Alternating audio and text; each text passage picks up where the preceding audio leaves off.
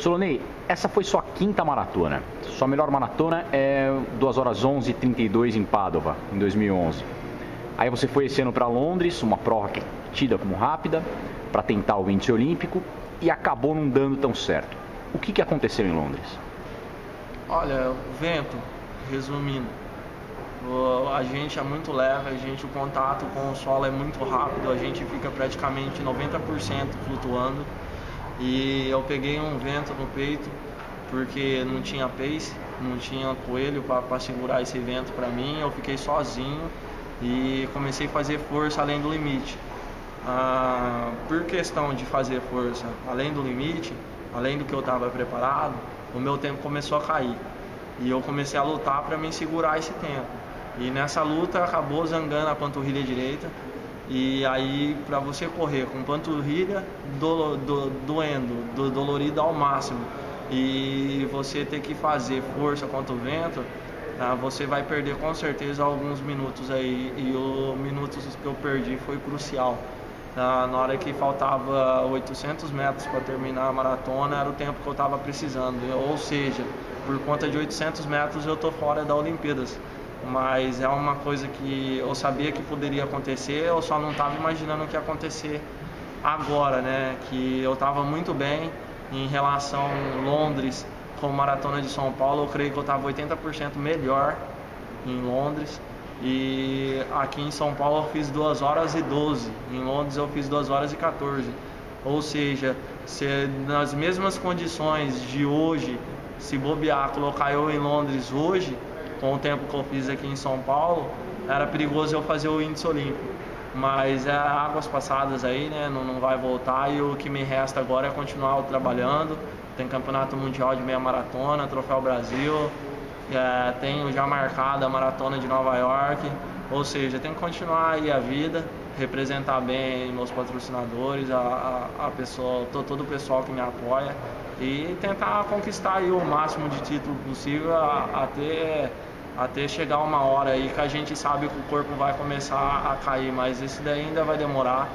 Eu creio que eu tenho grandes possibilidades de estar representando o Brasil no, no, no Rio 2016, então a maratona de São Paulo aí só vem comprovar que realmente eu tenho talento para a distância e é continuar trabalhando focado.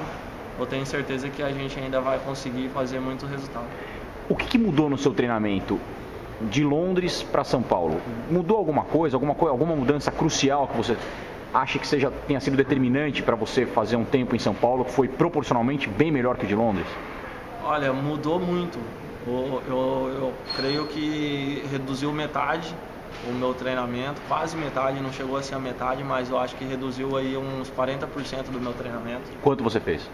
Ah, eu estava rodando mais ou menos aí cerca de 180, 160 quilômetros, de 160 a 180, o pico foi 180.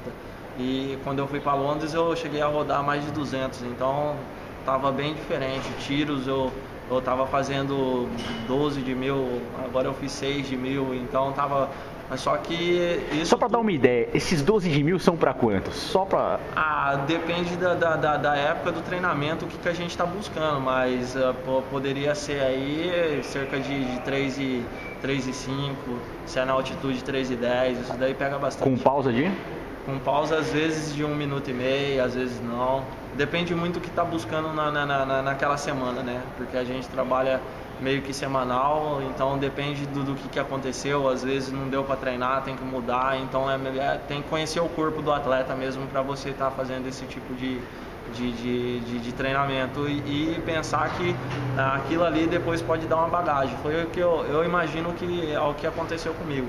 Ah, por eu ter feito um, um, um tempo, um longo tempo de treinamento, que foi desde o dia 26 de dezembro até o dia 20 de, de, de, de, de abril, eu tive uma bagagem extra para mim reduzir o treinamento agora para a maratona de São Paulo. Significa que o resultado da maratona de São Paulo, muito provavelmente, também seja fruto do seu treinamento para Londres.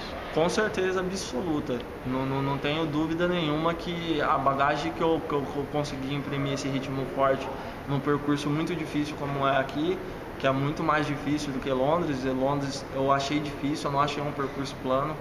Ah, em relação à Europa, falando de Padova e Londres, Padova é 10 vezes melhor. E, e, aqui em São Paulo era totalmente contrário. Eu sabia que eu ia encontrar pedreira no final. E por eu ter aguentado isso daí, eu creio que com certeza foi toda a base que eu, que eu fiz para correr a maratona de Londres. Se não fosse a base que eu fiz para a maratona de Londres, eu não sei se eu teria terminado do jeito que eu terminei. Terminei bem, comemorando, não estou com grandes dores, estou com, com, uma dor bem leve. Então, é, se, se, se analisar friamente, eu tenho certeza que, que Londres deu bagagem para mim ser campeão hoje aqui em São Paulo.